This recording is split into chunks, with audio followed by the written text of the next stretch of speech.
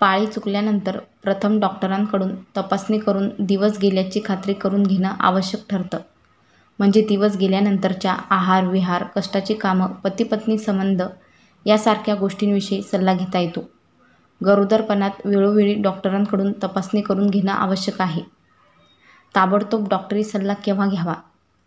जास्त प्रमाणात उलट्या होणं, चक्कर येणं, फार अशक्तपणा वाटणं, अंगावर पांढरे पाणी किंवा लाल जाणं, पोटात दुखणं, कंबर एकसारखी दुखणं, लघवीचा त्रास होणं वरील लक्षणं निर्माण झाल्यास ताबडतोब डॉक्टरी सल्ला घ्यावा.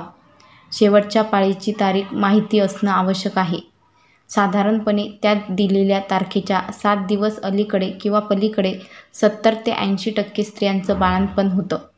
बाळणपणाची तारीख माहिती असली म्हणजे प्रवास, रजा, घर सांभाळणं किंवा मुलांना सांभाळणं अशा प्रकारची व्यवस्था करता येते. नंबर एक आपण गर्भवती आहोत या गोष्टीचा स्त्रीला आनंद व्हायला हवा. तिनं गर्भधारणातही आनंदी, मोकळ्या मनानं राहायला हवं. नंबर दोन गर्भाची संपूर्ण वाढ होण्याच्या दृष्टीने तिने मनावर आणि शरीरावर कोणताही ताण पडू देता कामा नये. प्रथिने, खनिजे, कॅलरीज आणि जीवनसत्व योग्य प्रमाणात मिळतील असा आहार तिनं गर्भधारणेत घ्यायला हवा. नंबर तीन दूध, फळे, पा पालेभाज्या असा आहार उत्तम. तसंच मांसाहार करणाऱ्या स्त्रियांनी अंडी, मांस, मासे या काळात आपल्या आहारात घेत जावे. नंबर चार आवश्यकतेपेक्षा जास्त आहार आणि पोषणाला अयोग्य असं अन्न खाण्यात आलं तर अपचन होत असतं. नंबर पाच गर्भापणे अपचन होऊ न देण्याची जबाबदारी गर्भवती स्त्रियांनी घेणं आवश्यक असतं. नंबर सहा ज्या ठिकाणी नाना तऱ्हेच्या माणसांशी बराच काळ संपर्क येऊ शकतो अशा ठिकाणी गर्भवतीने जाण्याचं टाळावं. सिनेमागृह हे असं ठिकाण असतं की तिथं रोज हजारो माणसं येत येत असतात, तीन तास बसत असतात. ही येणारी माणसं कुठल्या तरी विकारांनी आजारी असू शकतात. कुणाला सर्दी, खोकला तर कुणाला गुप्तरोगासारखे विकार झाल्याची शक्यता असते. अशा ठिकाणी तीन तास बसणं हे गर्भवती स्त्रीच्या दृष्टीनं अपायकारक ठरू शकतं. त्यापेक्षा मोकळ्या हवेत फिरणं, उद्यानात बसणं ठीक. नंबर सात डॉक्टरांचा सल्ला घेतल्याशिवाय कोणतंही औषध गरोदर स्त्रीनं घेणं स्त्रीनं घेऊ नये ते धोकादायक असतं. एवढंच नाही तर त्या काळात ओटीपोट दुखतं म्हणून किंवा आत हालचाल होऊन त्रास होतो म्हणून ओटीपोट दाबणं किंवा त्याला मसाज करणंही अत्यंत अयोग्य असतं.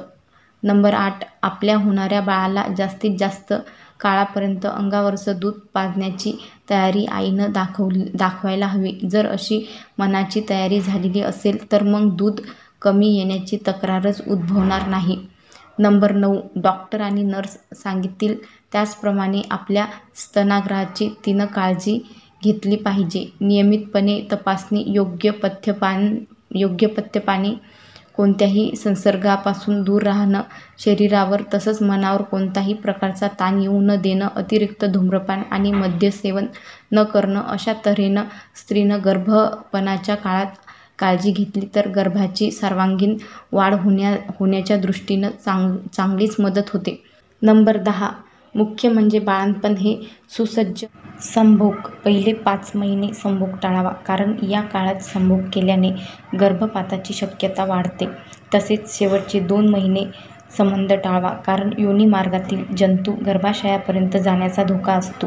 मधील काळात संबंध ठेवण्याचा झाल्यास दर पंधरा दिवसात एखाद्या वेळेस ठेवणे योग्य आहे. गर्भावस्थेत किरकोळ आजार गर्भवती स्त्रीस ही जाणीव करून द्यावयास हवी की गर्भावस्था ही आरोग्याची एक निशाणी आहे, तो रोग नव्हे.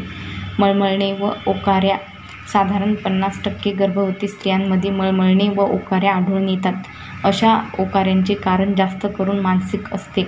ओकाऱ्या सर्व गर्भवती स्त्रियांना होतातच असे नाही, पण जर जास्त त्रास होत असेल तर तज्ज्ञांचा सल्ला घेणे इष्ट. ओकाऱ्या चालू असेपर्यंत गर्भवती स्त्रियांनी स्वयंपाक न केलेला बरा.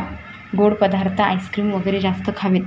छातीत जळजळणे बऱ्याच गर्भ गर्भवती स्त्रियांच्या छातीत जळजळणे आढळते. सर्वसाधारण न जळजळण्यासाठी तिखट पदार्थ वर्ज्य करावेत. थंड दूध दिवसातून दोन ते तीन वेळा घ्यावे. जळजळणे थांबलेच नाही तर अँटॅसिड घ्याव्यात. मलबद्वाचा त्रास व्हिडिओ आवडत असतील तर लाईक, शेअर आणि सबस्क्राईब करायला विसरू नका. धन्यवाद